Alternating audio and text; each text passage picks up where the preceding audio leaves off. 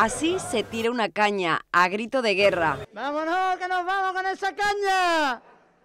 ¡Esa cañita buena! ¡Ahí va la caña! ¡Tira la caña! ¡Vamos en España a ningún lado! Qué mejor que acompañar el verano con una buena caña bien fresquita.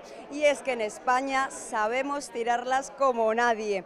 La cerveza es rica en vitaminas, en ácido fólico y también en antioxidantes. Hoy se celebra el Día de la Cerveza. Agua, cebada y lúpulo. Estos son los tres ingredientes de la cerveza, una bebida fermentada de baja graduación que si se consume con moderación puede tener un papel preventivo en algunas enfermedades. ¿Saben quién la inventó y en qué año? Hay grandes estudios y diferentes investigaciones sobre su origen. El registro más antiguo, gracias a la antropología y la arqueología, data del 3100 a.C. Y es que unas tablillas de arcillas sumerias de Mesopotamia muestran lo que serían las primeras evidencias escritas sobre esta bebida.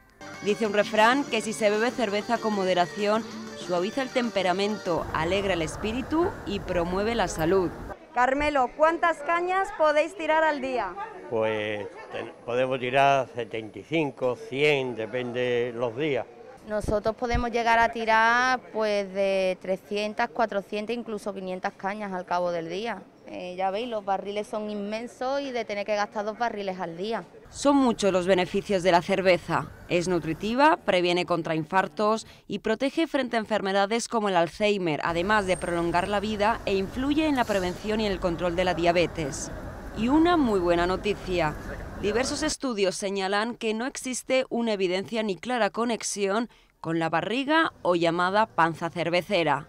Gusta tanto a hombres Fresquito lo que mejor entra. como a mujeres. Y se puede servir en jarra fría o así, directamente del botellín. Pero qué bien sabe la cerveza, ¿no? Digo, digo, muy buena. Yo bebo mucha cerveza, hija, todo el día con cerveza. A lo tonto el servir una caña es servir una risa, una alegría, una conversación, un buen momento. Es la vida en sí, una caña es todo. Una... Por la televisión pública. Salud. Gracias.